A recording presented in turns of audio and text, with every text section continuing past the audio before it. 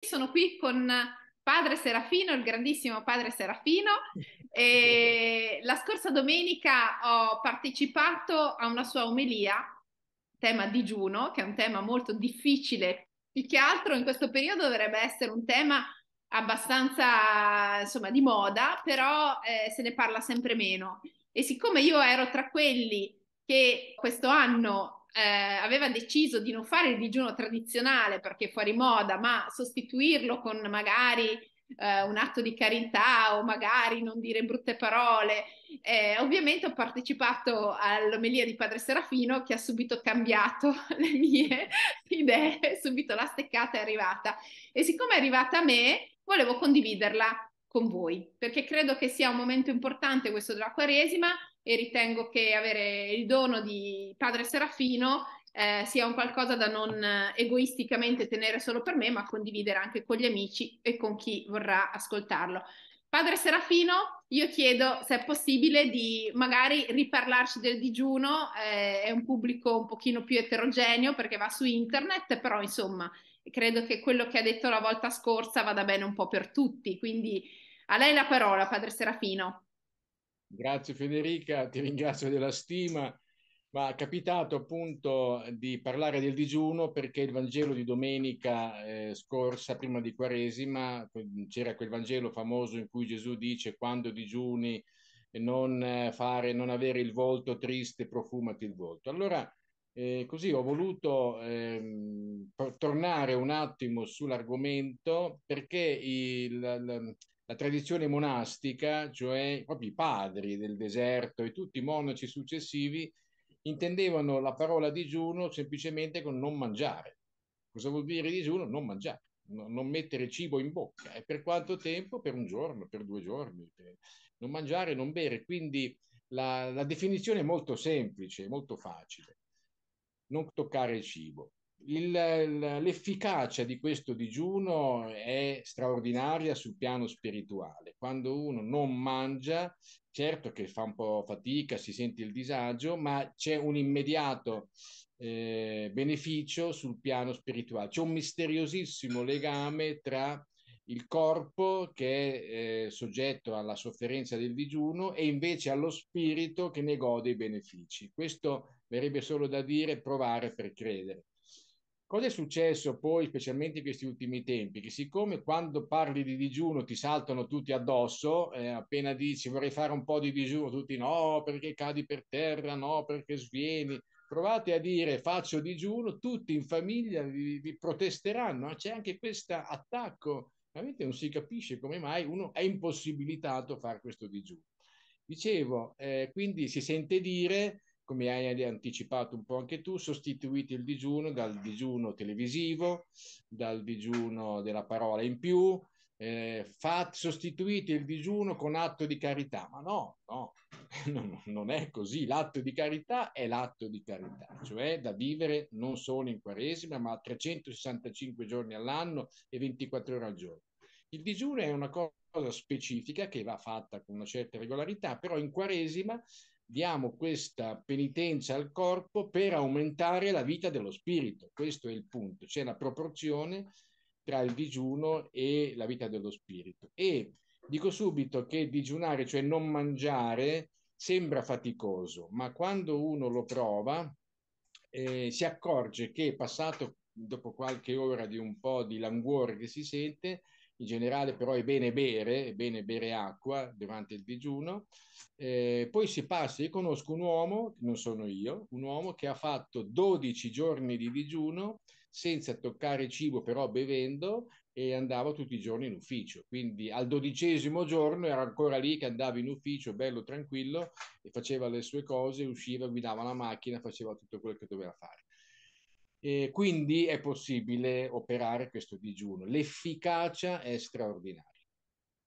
Se mh, appunto vuoi una spiegazione, abbiamo, abbiamo cercato di dare anche domenica scorsa, del perché di questa efficacia, possiamo dire questo, eh, um, rimanendo sulla dottrina di San Giovanni della Croce dei, dei, cinque sensi. San Giovanni della Croce dice che noi eh, ci relazioniamo al mondo con i cinque sensi, vedere, toccare, sentire, eh, mh, gustare, odorare, eccetera. Questi cinque sensi ci fanno conoscere il mondo.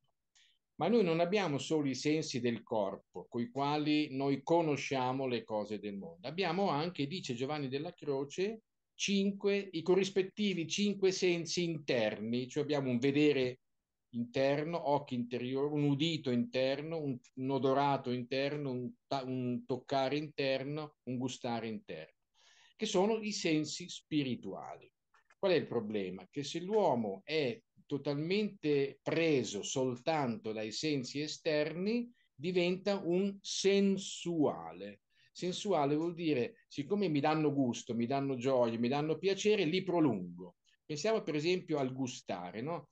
Io mangio una cosa buona e finché la mangio non è peccato, una cosa buona, la fatta esiste nella creazione, quindi mangio una cosa buona.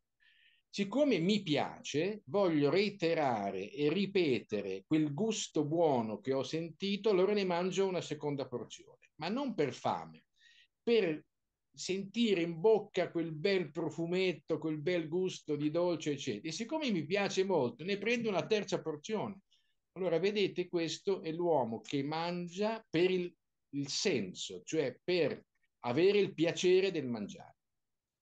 Invece, eh, quello che mangia in modo spirituale, cosa fa? Mangia una cosa buona, no? Quindi i, i, primi sensi coinvolti sono quelli esterni del corpo, il gusto, eccetera.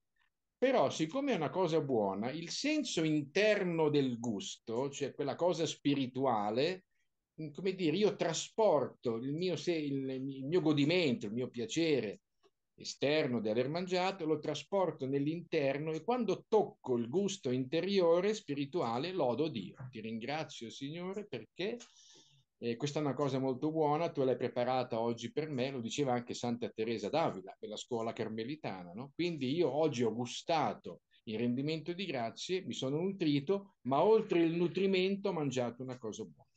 Allora, il non mangiare significa spiritualizzare e purificare i sensi interni.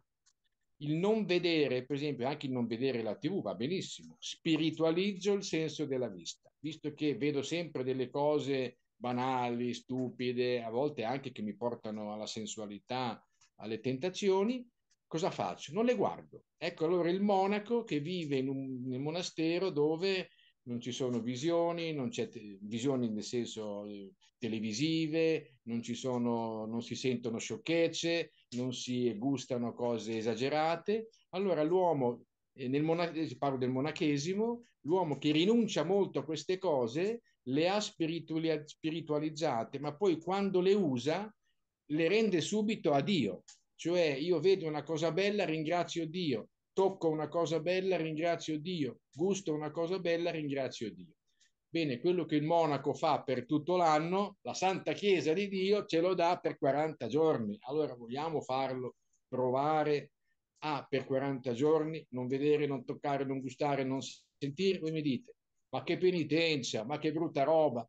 Se invece si riesce a farlo nella misura del possibile, veramente il quarantesimo giorno sarà una resurrezione.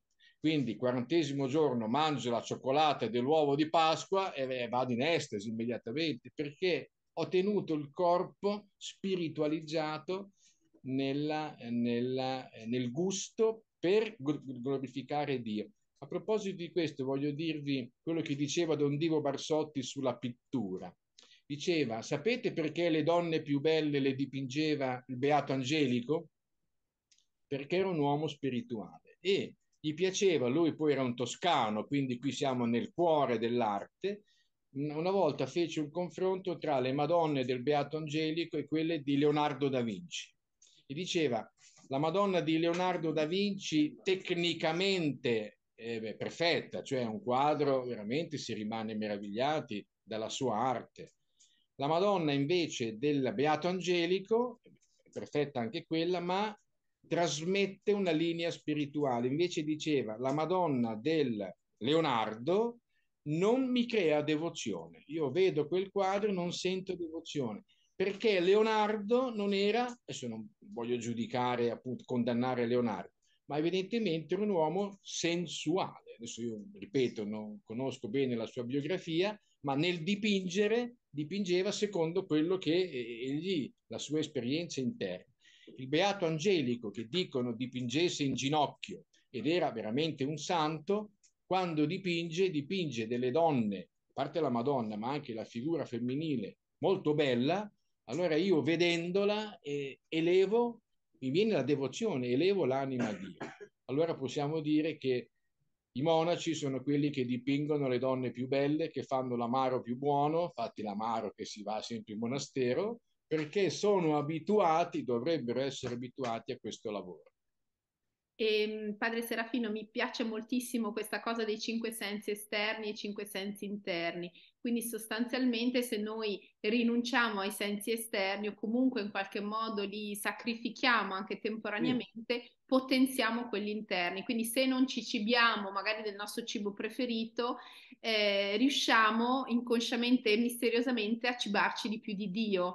E questo è anche un po' in pratica, un pochino, e, e credo sia vero, credo che ognuno di noi l'abbia sperimentato anche nella pratica, che quando preghiamo e magari abbiamo appena finito un lauto pasto è un po' più difficile pregare, magari ci viene un po' di sonnolenza, mentre se effettivamente siamo in un momento di privazione, magari anche di difficoltà, adesso eh, la preghiera è un po' più intensa. Eh, ecco, Padre Serafino co- conferma questo, nel senso la, la, preghiera fatta nel bisogno, nella, un po' nell'austerità, è una preghiera forse anche più sentita perché è più nel, nel dolore. È vero, sì, anche, cioè, eh, come dicevo, il legame misterioso tra corpo e spirito eh, passa anche attraverso questa esperienza. Come dicevi anche tu, dopo che uno ha mangiato in modo esagerato, si prova a dire il rosario alla terza Ave Maria, già è difficile non distrarsi regolarmente.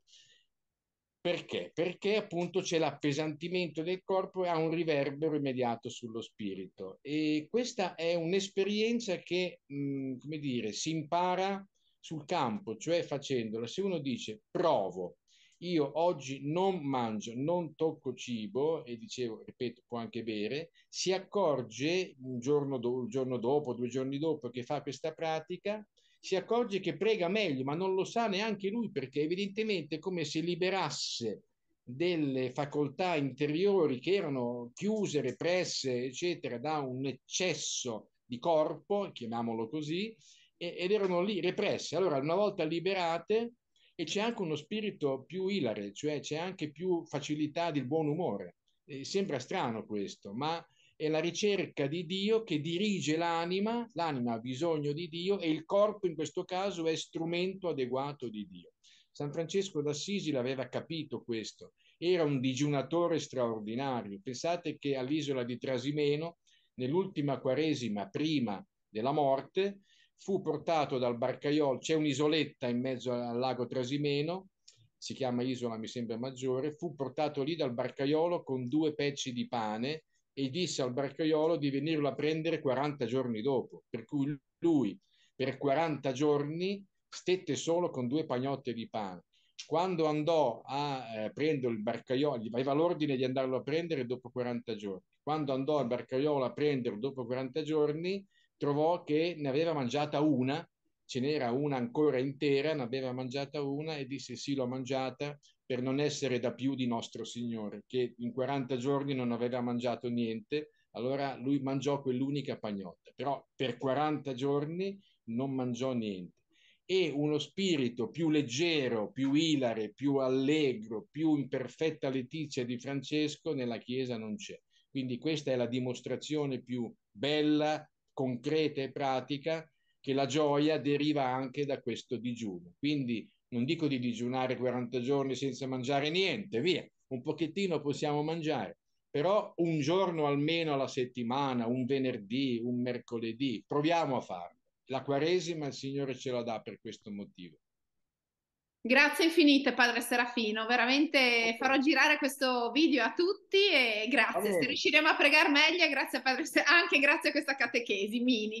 Grazie infinite Padre Serafino, buona Quaresima. Buona Pasqua allora, va bene, ciao Federica e a tutti voi. Ciao. Ciao, ciao.